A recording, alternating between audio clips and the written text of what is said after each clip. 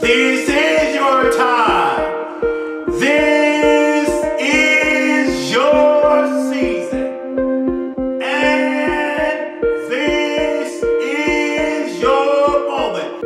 I definitely would recommend you be able to touch people, be able to uh, sympathize and empathize with people. and things that they go through. I want you to know you are destined for greatness.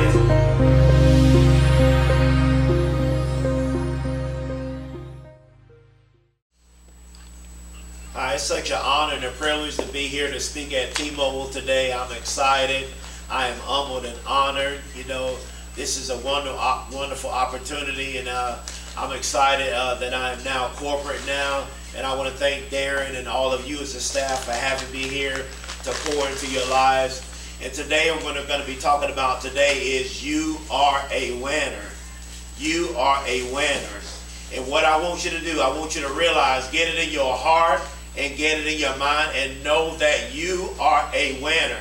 No matter what you're facing, no matter what you're going through, you are a winner.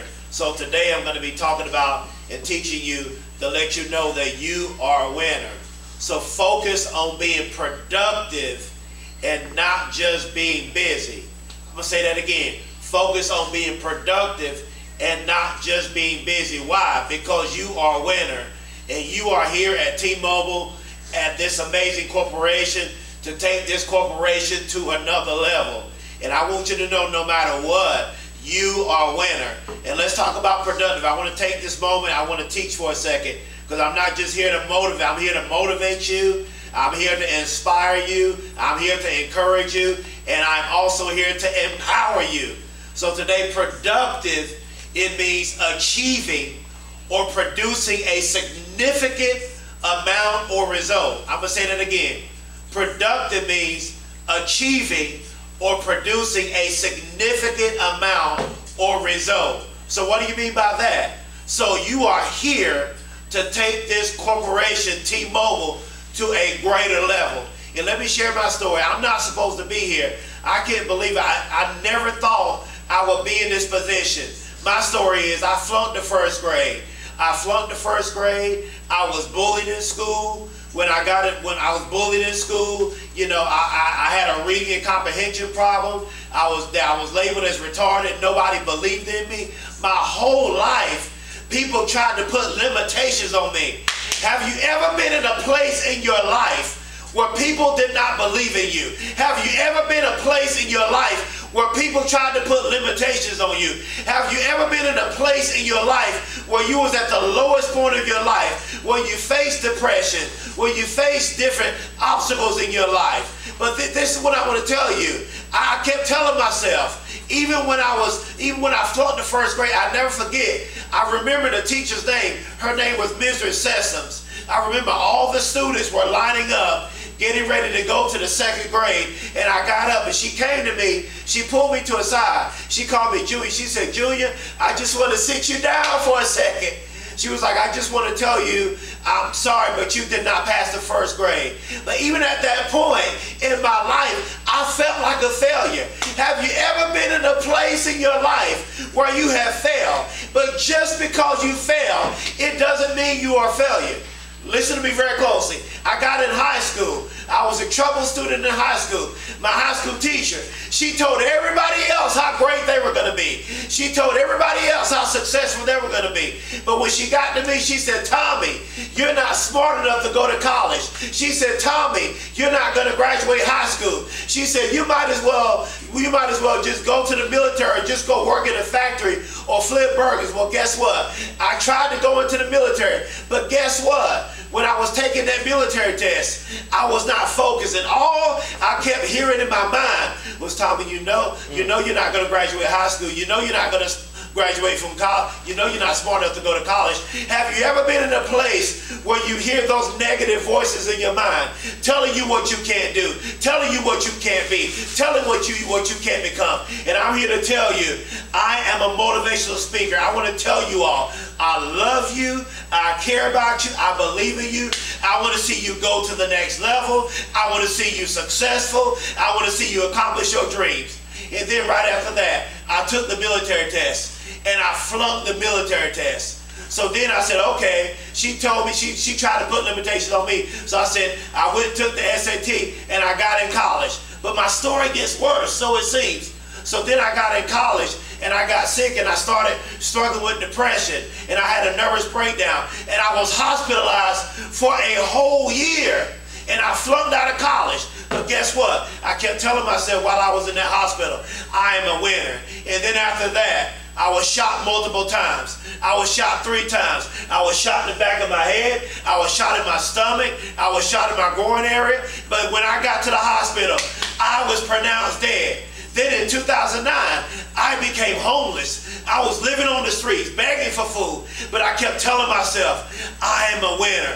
And now I am a nominee for the Nobel Peace Prize Award, a motivational speaker changing people's lives. And I'm here to tell you, you are a winner. You are here to achieve nothing but greatness and success at T-Mobile Corporation.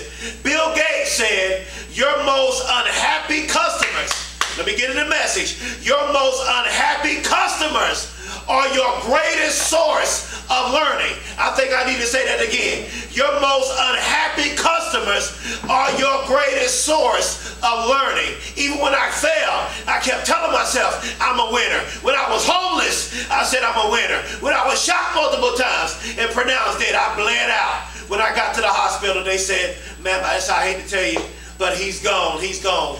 But look at me, somehow I'm here. And I was in a coma. The doctor said, we don't know, Mr. Campbell, how in the world you made it. We've never seen anybody survive such an injury as this. So when you have customers, listen to me very closely. When you have customers that are rude and unhappy, then that is your, watch this, that is your greatest source of learning because this is how you make T-Mobile Corporation even greater. This is the secret. Listen to me very closely. Do the very, do the very common uncommonly great. Do the do the uncommonly great, and this corporation and you as an employee will go to another level. To continue the, to continue to keep this corporate company great. Number one, I'm teaching. I'm, I'm excited, so I got to calm down. Number one, stay focused while at work. Stay focused while you are at work.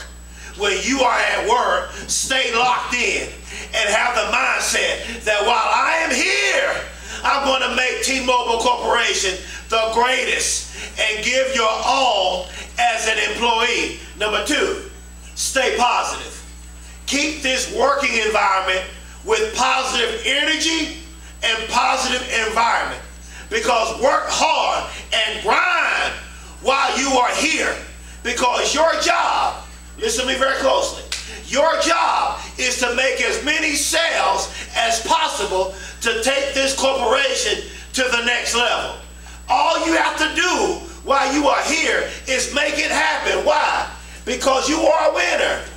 Next, tell yourself every day that you are going to exceed the amount of phones the company wants you to sell. I'm going to say that again. Tell yourself every day that you're going to exceed the amount of phones the company wants you to sell. You're going to do everything in your power as an employee to work in excellence and take this corporation, this amazing corporation, to the next level. This is America's largest 5G network, T-Mobile.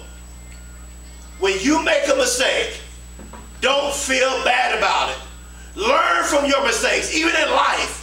When you make mistakes in life, learn from your mistakes and just try harder. Because watch this. What do you mean? What do you mean, Tommy? In your mistakes, it leads you to try something new. It leads you to the solution. I'm feeling this thing, y'all. Uh-huh. This is how you take this corporation to the next level. Oprah Winfrey said, and I'm closing. Oprah Winfrey said, let excellence be your brand. Let excellence be your brand. Because when you are excellent, you become unforgettable. If you do your job in excellence, then this corporation will win greatly and you will win as an employee. I'm closing. Remember, you are a winner. Work as a team. You are all on the same team. You are all winners. You are all great. You are amazing. You will take this corporation to another level. T-Mobile Corporation will win because of you all. When you are here, stay focused.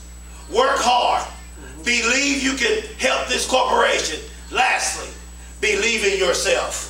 Listen, I went from flunking the first grade to being labeled as retarded, having a reading and comprehension problem, having a learning disability, barely graduated high school, got in college, flunked out of college, was shot multiple times, was homeless, and now I'm a motivational speaker, changing the world.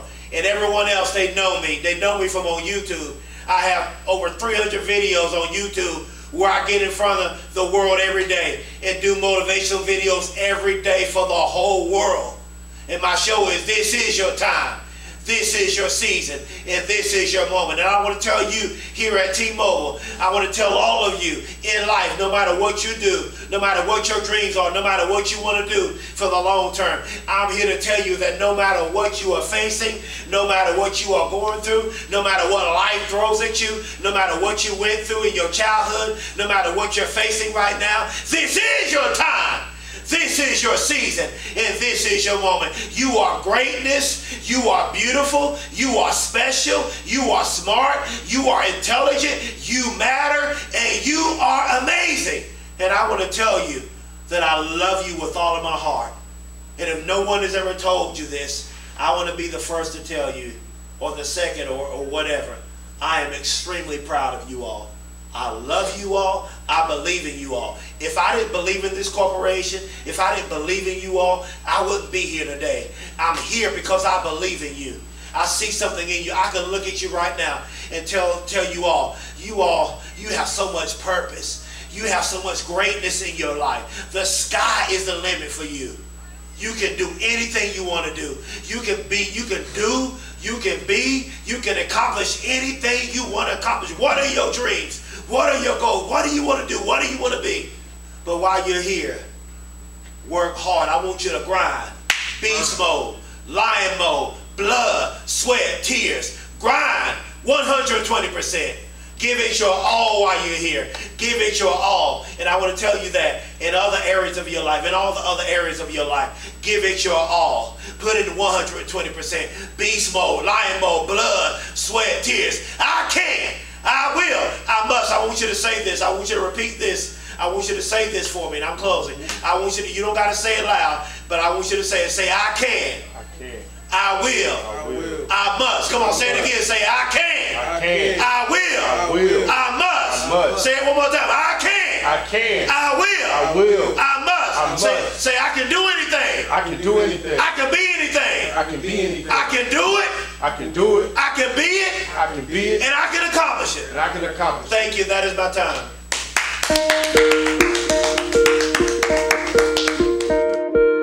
This is your time.